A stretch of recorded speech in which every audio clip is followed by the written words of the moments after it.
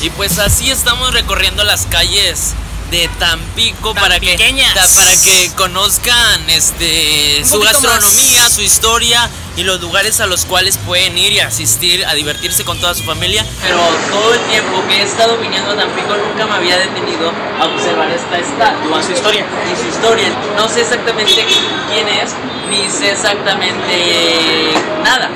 Pero aquí dice su nombre. Este, no lo sé ni pronunciar siquiera.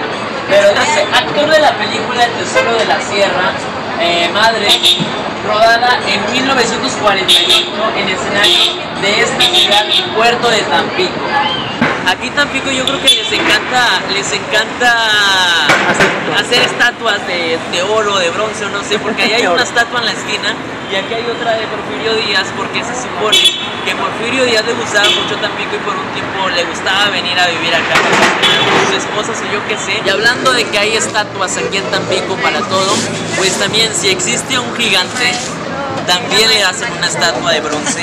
Este, pues ahora les voy a contar rápidamente algo de la historia. Él medía 2.35 metros, eh, no sé qué años, pero hace mucho tiempo, hace alrededor de unos que serán 60, 70 años. Y era el hombre más gigante de esa época, que inclusive se tomaba dos litros de agua y comía tres platos, comía como tres personas. Y pues está un poco grande y está aquí. Le hicieron una estatua como todos. Como todos, así cuando si eres algo relevante aquí en Tampico te hacen una estatua. si creces con gigantismo, te hacen una estatua. Si grabas una película, te hacen una estatua. Y si eres un presidente de la República por más de 30 años, te, hacen una estatua. Y estuvimos caminando por el centro de Tampico buscando unas tortas de la barda y nos encontramos con tortas Chencho. Y pues aquí en nuestra zona la torta de la barda es la más típica comida, la más conocida y yo creo que todos los que vienen, los turistas, lo primero que vienen a hacer es comer una torta de la barda. Él fue nuestro tortero Brian. Nos explicó más acerca de la torta de la barda con dos ingredientes. Vamos a ver qué es lo que se necesita. Primero, un pan bolillo, virote o francés, como lo llamen en tu ciudad. Se calienta un poco, se parte un poquitín, se vuelve a calentar mientras nosotros vemos la tabla de precios, que es muy económico, a 35 pesos cada torta.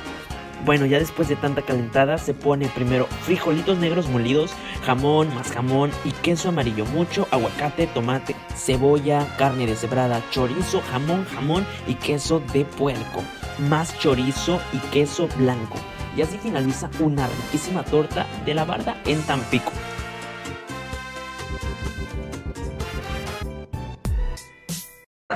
A echar novios o vienen a ligar.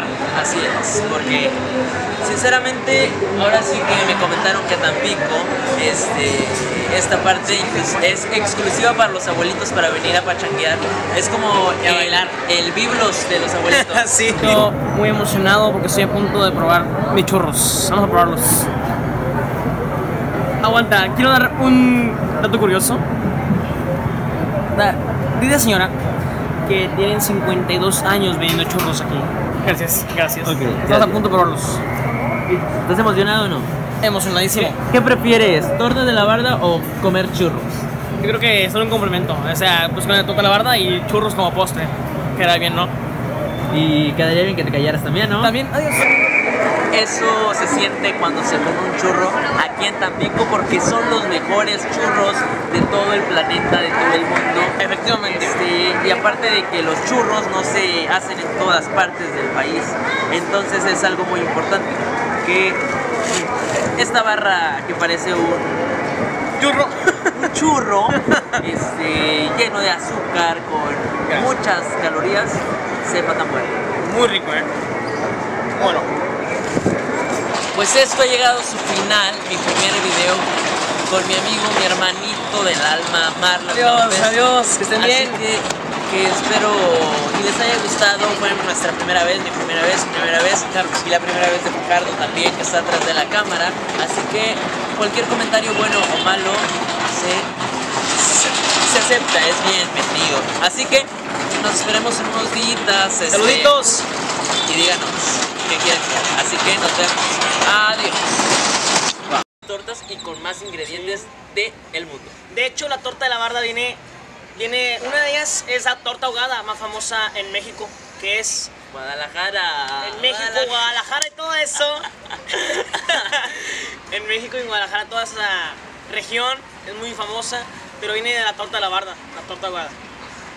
Córtale, porque eso está mal. ¿Cómo que